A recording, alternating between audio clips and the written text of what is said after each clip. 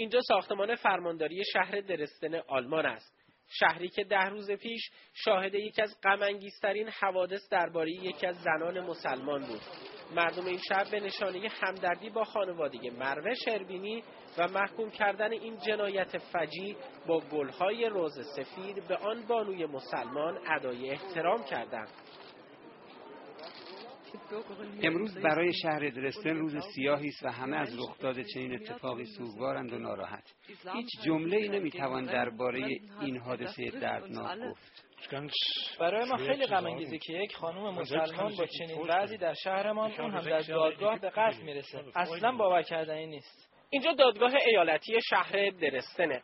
دادگاهی که ده روز پیش خانم مروه شروینی در مقابل فرزند سه ساله خود همسر و قاضی دادگاه به شهادت رسید. این اتفاق خیلی وحشتناک برای من جای تعجبه که یه نفر بتونه بدون کنترل چاقو رو به دادگاه ببره. بعضی اوقات حتی اجازه نمیدن شما یه موبایل همراهت ببرید توی دادگاه. این جای سوال داره که آیا این اجازه استثنایی بوده؟ یا از قصد ندیده گرفتن که این مجرم بتونه چاقو همراهش داشته باشه؟ شهادت خانم مروه به جهان نشون داد که زن مسلمان در جامعه آلمان با چه شرایط سخت و دشواری زندگی می‌کنه.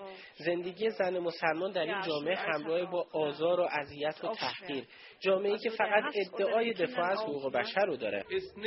این اتفاق نشون داد جامعه آلمان به سوی جریان دین ستیزی حرکت می‌کنه و این بسیار خطرناک. مقامات قضایی آلمان تحت فشار افکار عمومی و اعتراض روزافزون نسبت به شهادت مروه شربینی تلاش دارند تا این حادثه را مثل دیگر اتفاقات مجرمانه طبیعی جلوه دهند اگرچه این اتفاق دردناکیه که در این دادگاه رخ داد اما باید بگم که این پرونده هم مثل هزاران پرونده قضایی دیگر است و در دادگاه ها مورد رستگی قرار می‌گیرد.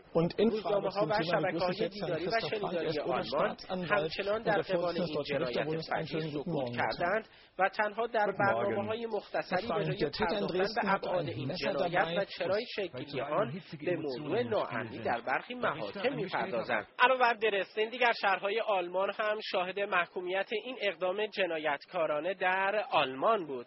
عزیزی خبرنگار صدا و سیمای جمهوری اسلامی ایران درستن